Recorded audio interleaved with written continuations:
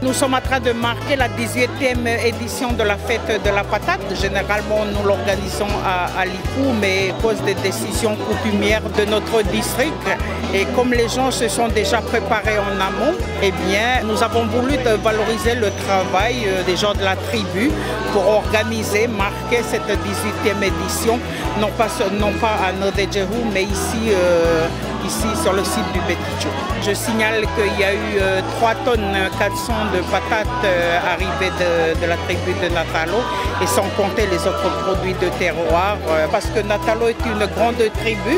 Nous sommes 800, plus de 800 habitants et majoritairement les, familles vivent de l'agriculture.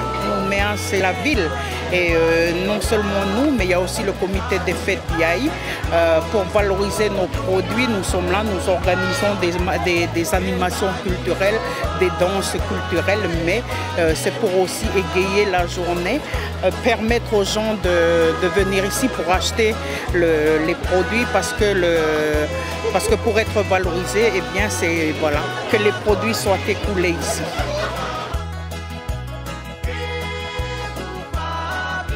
Aujourd'hui, euh, sur la place Beticho, donc vous nous retrouvez, nous les gens de Yaï, qui sommes venus avec notre poisson fumé, notre poisson frais.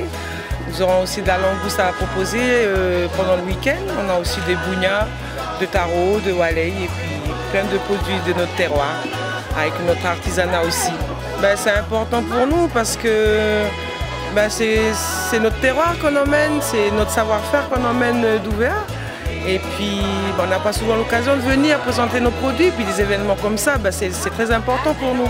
Parce que voilà, on vient faire, faire euh, nos produits, faire la promotion de, ce que nous, on sait faire sur Yaï, la pêche, l'artisanat, la sculpture, la couture et tout ça.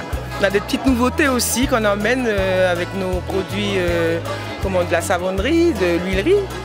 Il y a des petites surprises aussi, des bonbons au coco, c'est la petite nouveauté qu'on est venu avec aussi, voilà. Là, un peu tout ce qu'on peut découvrir, qu'on a emmené avec nous.